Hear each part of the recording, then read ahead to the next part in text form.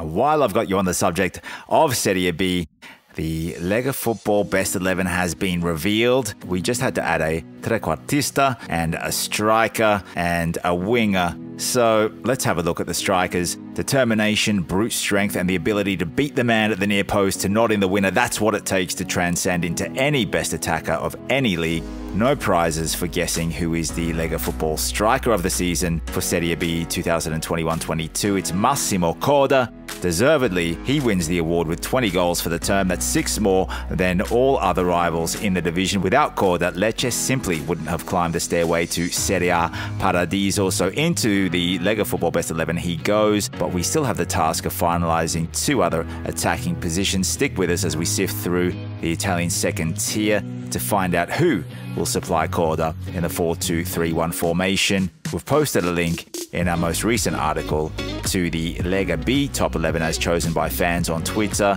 In that 11, the three man attacking midfield consists of Gabriel Strefezza, Alessio Zerbin, and Gianluca Gaetano, who sit behind Massimo Coda. The criteria for the Lega Football Best 11 the candidates must have played a minimum of 25 games, that's two thirds of the season, in Serie B. 64 attackers qualified here, two of them in particular which didn't qualify were Gianluca Lapadula and Gabriel Charpentier. They fell short of the required minimum to be considered for the best 11, yet they still topped their respective clubs in terms of goals for Benevento and Frosinone. We'll just have a quick look at the top scorers of each club. With 12 goals at Alessandria was Corazza Dionisi for Ascoli with 9 goals, Lapadula at Benevento with 11 goals, Moreo of Brescia 9 goals there, Baldini for Cittadella with 10, Cerri at Como with 10 as well, Larrivey for Cosenza. He signed in January and saved the club from going down to Lega Pro. 6 goals for him, some crucial goals especially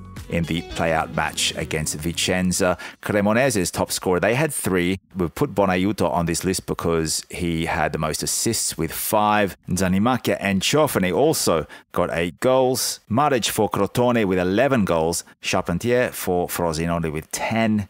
Dany Mota did score 11 for Monza, but Gytkjær with the five goals in the playoffs takes him over Dany Mota. 14 goals for Gytkjær. Vasquez with 14 for Parma, De Luca 10 at Perugia, Puscas for Pisa with 9 goals, Cambiaghi at Pordenone, great season for the attacking midfielder, 7 goals and 4 assists, Galabinov, the ex-Spezia player, 9 goals at Reggina, Mancosu for Spal with 6 goals, Donnarumma at Ternana, that's Alfredo Donnarumma with 14 goals, and Diaw for Vicenza, 7 goals. The top five in the division Coda with 20 goals, Strefezza and Vasquez with Alfredo Donnarumma 14 goals and Simone Corazza of Alessandria 12 goals. We've also linked in all of Massimo Coda's goals in our Substack article on this subject. So the best attacking midfielders and wingers, it seems as though Gabriel Strefezza has been knocking about for a decade, but the dual national, the Brazilian Italian, is only 24, following his brilliant campaign with Lecce, contributing 14 goals from the right wing. The ex-Spal man is a certainty for this Lega Football Best 11. Franco Vasquez is allegedly 33 years of age. However, the 15 million euro man from Palermo to Sevilla in 2016 he sliced apart defences like a machete through a rainforest. He loves to catch a goalkeeper off his line as well. It's not just about scoring goals from deep positions for Strefezza and Vasquez. It's not just about scoring goals from deep positions for Strefezza and Vasquez. They both accumulated a handful of assists as well. Anthony Partipilo of Ternana led the division with 13 assists, and Cittadella's Mirko Antenucci, that's Mirko with a K, provided seven. So here we are with our final 11. We add Vasquez, and Strefezza into the mix alongside Gaetano in that front line. Four, Chichizola of Perugia in goal. Left back is Pietro Beruatto of Pisa. Right back was Samuele Birindelli of Pisa. Federico Gatti and Andrea Cistana of Frosinone and Brescia. They are the centre half pairing. Gennaro Acampora of Benevento and Morten Hjulmand of Lecce are the two pivots in midfield. Gaetano from Cremonese, Vasquez of Parma, Gabriel Strefezza of Lecce, with Massimo Coda up the top. So of this team, Chichizola, Gatti, Birindelli, Gaetano and Coda have all changed clubs. Only six of this 11 will remain in Serie B at this stage, unless something happens in the Mercato in the meantime. Chichizola will rotate with Buffon at Parma. Gatti was bought by Juventus. Birindelli by Monza. Gaetano returns to parent club Napoli. And Coda has moved on to Genoa. Hjulmand and Strefezza will line up for Lecce in Serie A. Moving on to the Gioventù, the youngsters of Serie B, the top under 23 strikers and attackers. Monza's Dany Mota was the standout kitty of the litter with 11 strikes, while Manuel De Luca and Gabriel Charpentier both ended the campaign with 10 goals each. Then there was Alessio Zerbin of Frosinone, 9 goals for him, Zanimacchia of Cremonese with 8, Gaetano Cambiaghi and Tramoni of Brescia with 7. Of the under 23 players that played in the wing position, it was Zanimacchia and Gaetano who assembled five goals each to facilitate Cremonese's promotion. Meanwhile, Cambiaghi, Lucca, and Giuseppe Caso of Cosenza concluded with four assists. Alessio Zerbin was the most prolific under 23 winger, slotting nine goals in a debut season of Serie B that subsequently earned him an unlikely Italian national team call up by Roberto Mancini back in June.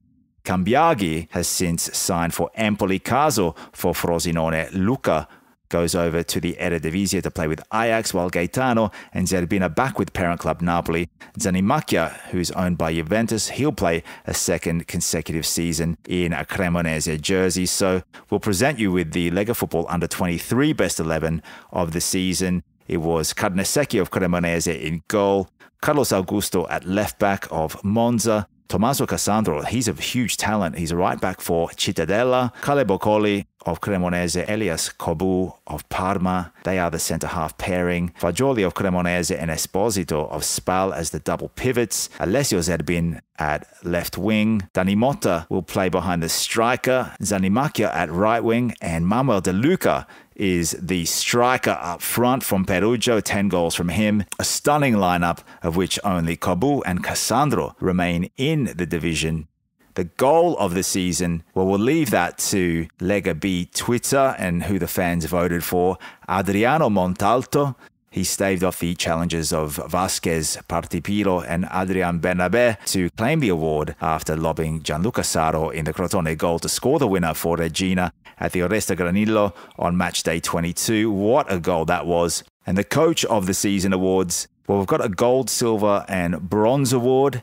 Massimiliano Alvini pushed Perugia all the way to the playoffs on a shoestring budget, getting the best out of Chichizola and a youthful defence piloted by relatively unknown Filippo Sgarbi, and of course those 10 goals squeezed out of Mammo De Luca. Alvini has since taken the Cremonese job. He's awarded the bronze medal. Let's see how he moulds Le Tigre in 2022-23. At this point, I must make a special mention of Ivan Javorcic, who shattered European records to elevate FC Südtirol from Lega Pro to Serie B for the first time in the club's history. He's a former Brescia midfielder, a former teammate of Roberto Baggio. He's subsequently taken the Venezia position for this season. And if you'd like to go back, we have interviewed Javorcic a few weeks back, and you can check that out on the Lega Football platforms. Silver medal that goes to Fabio Pecchia, who decided to vacate that Cremonese bench after clinching second place and commanding a youthful Grigio Rossi outfit back up to Serie A for the first time since 1996. Pecchia achieved this by getting the best out of the entire squad, harnessing the talents of under 23 giocatori like Gaetano Fagioli, Zanimacchia, Okoli, and Carnesecchi, instead of simply relying on veterans like Di Carmine and Ciofani to survive relegation. Let's see if Pecchia can do the same at Parma this season. For the gold medal well, Giovanni Stroppa is Italian football's adaptation of Die Another Day. The former Crotone boss of 2021 is back to lead another side into the Italian top flight for the second time in three years. On the back of missing out on automatic promotion, Stroppa still rose above the expectations imposed on him, not just by the media, but also the likes of Adriano Galliani and Silvio Berlusconi, to win the Serie B playoff final against Pisa back in May after galvanizing his squad and getting the best out of them. He is the Serie B best 11 coach of the season, bolstered by prestigious signings like Caprari, Sensi, Pessina, and Cragno. Monza contesting its debut season in Serie A with Stroppa at the helm. That is our coverage of the Serie B Best 11 series. We hope you enjoyed that one. We've also got other articles out there about the best goalkeepers, best defenders, best midfielders, and of course, the guide to Serie B promotion for those of you who want to understand a little bit more about the Italian second tier. And just before we wrap up this episode, the first week of Serie A for the season, I've been reading all the articles, listening to some podcasts as well. Great work from all the club podcasters out there. I've also been reading some articles aside from Emmett Gates. Nicky Bandini wrote a Serie A write up in The Guardian, which made me chuckle a little bit, talking about how Juve and Inter have been pulling out the Tupperware containers of frozen soup from the freezer using old recipes like bringing back Lukaku and Pogba to try and prize back that title from Milan instead of trying a different recipe with different players. The old reheated soup, the minestre riscaldate. Some of you will know it never tastes as good as you hope. Bandini went on to write. So Roma, Lazio, well, they've made some quality tweaks, but the antithesis to that would be Napoli. ADL has torn up Nonna's traditional recipe and has thrown out a couple of the ingredients that we're all used to. The Neapolitan minestra of 2022 23 hasn't even started simmering yet. It's a very new recipe. We'll see how that goes on Monday away at Verona. Just on that note, we do have a Lega football player card series. We started off with Cremonese's Dezotti. This week it's Hans Peter Briegel for Verona, who played there and debuted in 1984. They won that title in 1984 85. His goal was the club's first for the season, the wonderfully angled header from a corner coming in from the right. Briegel used the pace of the ball to steer that in onwards into the far corner. It was also the debut of Diego Maradona in Serie A for Napoli. So you can check out that player card. It's on our Twitter feed. There's also a great article we've reposted from Mark Doyle of goal.com. That's titled Serie A has become the Serie B of Europe. So some interesting points that Mark has touched on does go back to the chat that we had with Adriano Del Monte. That kind of tags on to what current Monza sporting director and former Milan sporting director Adriano Galliani said about Italy's future to build new stadiums. And this is a statement from Paolo Scaroni, the current AC Milan chairman, as Mark Doyle wrote in his article on goal. And I quote, We can take the best opera singers in the world, but if we make them sing in a shed instead of at La Scala, that's a big difference. So we'll link that one in on our Twitter feed as well. The Serie A rewind of the week was that goal from Igor Protti for Bari against Napoli. Napoli seemed to be on the receiving end in this episode, but uh, Partenope supporters just know that we love Napoli and uh, wish them all the best against Verona.